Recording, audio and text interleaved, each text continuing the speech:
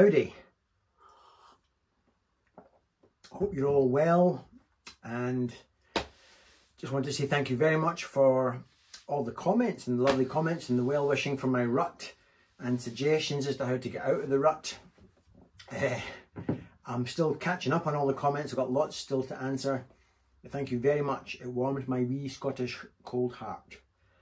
Um, I'm still in my rut, but I've been playing every day, despite a lot of people saying don't touch it for a while. But I just do it just to get my hand running through the motions and just playing. But what I have done that's significant, that's definitely helped, is I've tried to remove all self-imposed pressure of bringing out another video. I did that by saying, that's it Paul, you're, you're empty. I'm not going to do another video now for at least a month. And of course, when you have that mindset, you start to enjoy the playing. So after three, five, seven, nine days, you think, well, I'm actually quite enjoying myself again. Also, I've been playing this. Now, this is never going to be my number one guitar. In fact, it's not my guitar at all. It's my dad's. But what do you play on a Gretsch? I've really no idea. There's the stereotypical sort of slap back delay stuff. There's the Brian Setzer thing. But I'm a Gibson guy or a Fender guy and I'm, I find it's a very, very different tone. So I listened by accident to somebody called Mark Johnston, who's a YouTuber. You might have heard of him, who does demos. That's his thing, he does demos. And he's a very different type of player to me. Um, he did a demo of something called the Fairfield Circuitry Shallow Water Pedal, which does intrigue me. But in listening to his demo, he does that thing, I stole a little section of what he does and I've kind of made that one of the hooks of that little intro piece that you just heard. So thank you to Mark Johnston for letting me steal your, your hook and I've just embellished it and exploded it to what I want. Um, I'm going to give you a lesson on that at the end if it appeals to anybody. It didn't even particularly appeal to me. I'm, ambient playing isn't really my thing, but it did get me down a little loop looking at people like Rabea Massaad and just players that really do use their pedal boards and it was fun. Um, what else have I been doing? Yes, I bought a car. My driving school car, as I said last time, is getting to that age now where I'm, you know, I don't want an unreliable car and it's been great, but I think now's the time to shift it. So I've been looking at cars and test driving cars. So I bought myself a car that I've researched to the nth degree. I've been really looking into reliability of cars and I started out my job as a driving instructor with a Japanese car. Then I flirted with other makes and models and I plan to see out my career with a Japanese car. Um, so I've got this, I'll put it on screen now, a little Suzuki Swift I went for the sport version because, well, why not, eh? You're only young once. Lovely little car. Eh, sort of cheap plastic interior. It's just a little Japanese car based on their little, little Swift, but it'll be good fun for me and the driving school. That's pretty much it. Other than just, once again, thank you so much for all your nice comments and your suggestions. I will now try to break down a little bit of what I was doing on that ambient piece, just in case somebody gets something out of it. Let's go. Right. Welcome to the most useless guitar lesson ever. I'll show you what I did, but when you see how I came up with it, uh, you can see just how I'm not driven by theory in any way, shape or form. But you might still get something out of it. So here we go with the, with the bass tone, because some of this piece was just about me trying to get into ambient guitar a little bit. So here's my bass tone with nothing on. Middle position, as Greg Koch would say. For some extra brilliance and, and presence, I add just a blues driver. For some delay, flashback.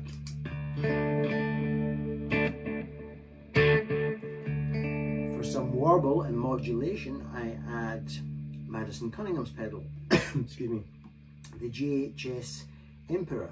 So now it's a wee bit seasick. Getting into it, I'll take the modulation off just now, just in case you do physically throw up all over your screens. D minor is the key word, I have dropped the fat string down a tone, so I've got that open D drone. A baby D minor with the finger off gives you that lovely half step rub. And a weird screws with your brain because my right hand is going south like this and yet I get notes that, that drop. I'm going, then I'm getting higher. I expect to get higher again when I go to the thinner string, but it drops. You get that lovely screwing with your head kind of feeling. And then I got into it, into Mark Johnston, the YouTuber's bit that I stole.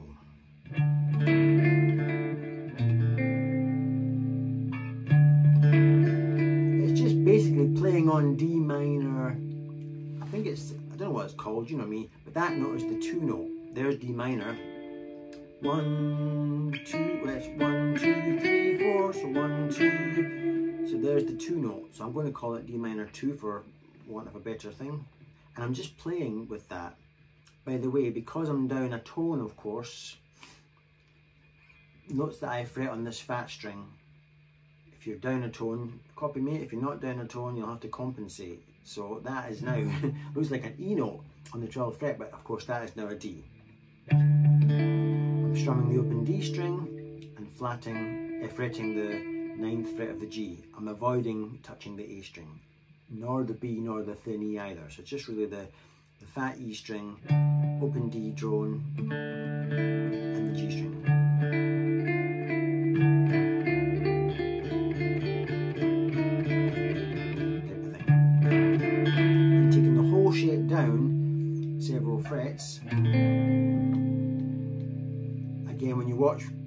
On YouTube, it looks like these fingers are fretting. They're not, they're completely floating. Then I keep that note, but refret it with the ring finger so that I can get that in. And again, the strings I'm hitting are the exact same strings, the fat E, the, the open D drone, and the G string. All it is, musically speaking, I'm not a theory person, but I think I'm really just playing D minors or D minor flavors. I would say that's a D minor to D minor 2. I would just say that is a D minor with a, an, a B flat bass. Looks like a C bass, but of course it's a B flat bass because I'm tuned down. Followed by a, another D minor, this time with a that'd be a G bass.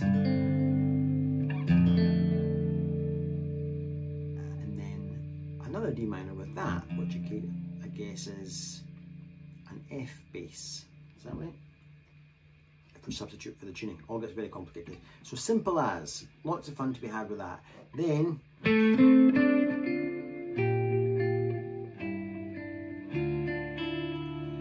all I'm doing there is I don't really know what I'm doing. That's my blues scale in D.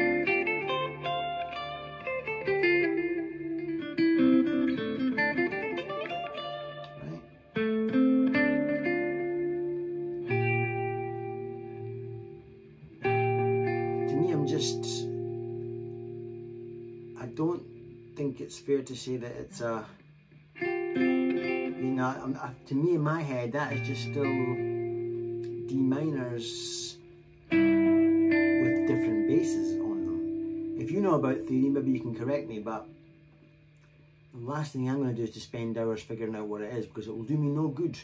It'll do me no good to know what this is. I, I, maybe that's why I'm in a rut. Eh? I'm not getting better because the people that I admire maybe these days the people I admire maybe do know what they're doing. Maybe that's why I'm getting left behind. But still, I ain't doing it. Wild horses will have to drag me into Theoryland. Not interested. And then back to D. And all I'm doing, of course, is just playing this time the B and G strings there and fretting this, this hooking over the thumb on the fat string. And taking the whole thing down for three frets. Baby D minor with the, the first finger off. Repeating. Then a B flat 7, which of course is one fret above my 5 chord, which will be A. And I've added that for some dissonance. That's just a baby A7. So there's my... I like the way that sounds because by fretting it like that, that looks like a regular status quo bar shape. But of course, because we're down a tone on the bottom, I've got this rare situation happening where that is therefore giving it the seventh note. Normally that gives it the root, but today gives it this, the flat seven. And that's just my, just barring the D, G and B strings on the fifth fret, sixth fret of the G string to make it a, a regular A7, and adding a bit of dissonance on the top there. Then what did I do? Then I think I let some freak out happen with the whatever I did with my Digitech FreqOut.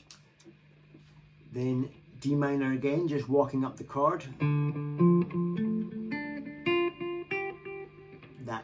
Shape. You've heard me do that a million times.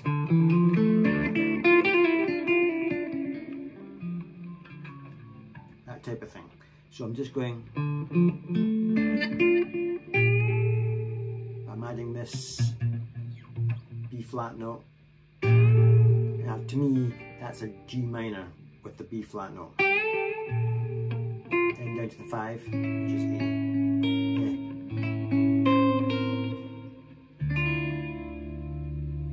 my baby D minor with a finger off.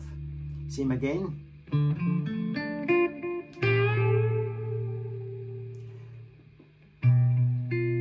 That's a G7. So we've gone from G minor to G7 to C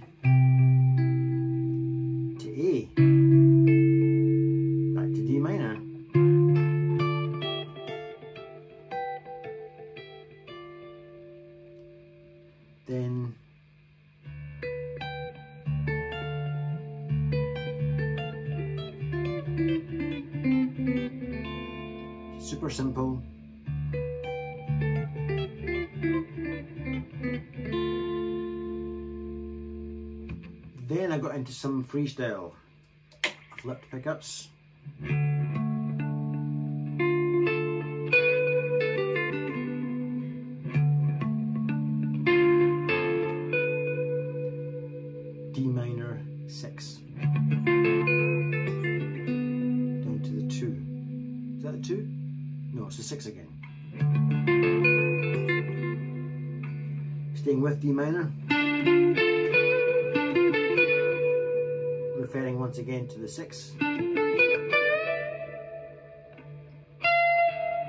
Just playing lead on a D minor theme. Uh, what did I do? That's right.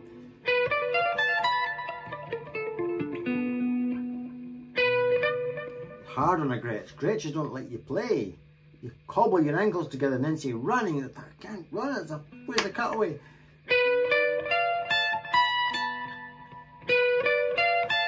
Me walking up baby D minor, but because I'm starting there, it's the 6.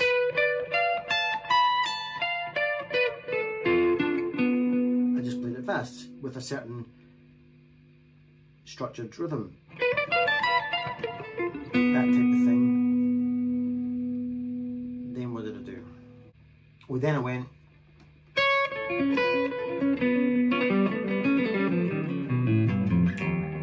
That's just a wee Paul Cookism. I was looking for little Julian Lages. He has little standard things he does, little abstract things that he puts in the middle of pretty pieces to make, to screw with you. And then he comes back to the prettiness and you're like, oh, thank God for that. Tension and release, I guess. So one of my little things I've learned is, yeah. it's a play, I guess, on the whole step scale and the chord that seems to marry in with the whole step scale is the augmented. I've talked about this before. Every note in an augmented chord is at least 2, 4, 6, 8, 10, 12, 14 away from each other. There's, always, there's no odd numbers. So therefore you get that that type of sound, that ghosty sound. So that's just me thinking about that. You have to learn, this is just a, a thing I do. Just all twos. If you want to know what it is,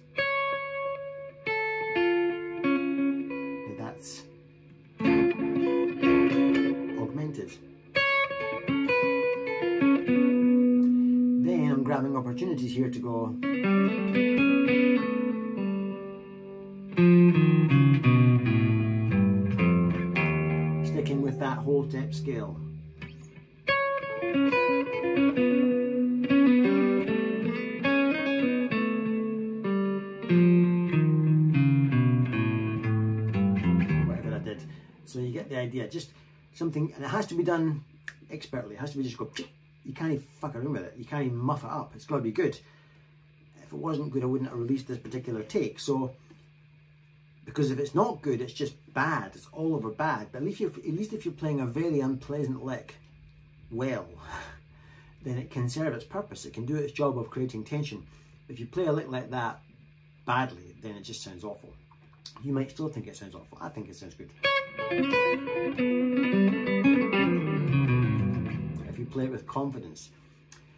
Um, and then I think I went back into the song,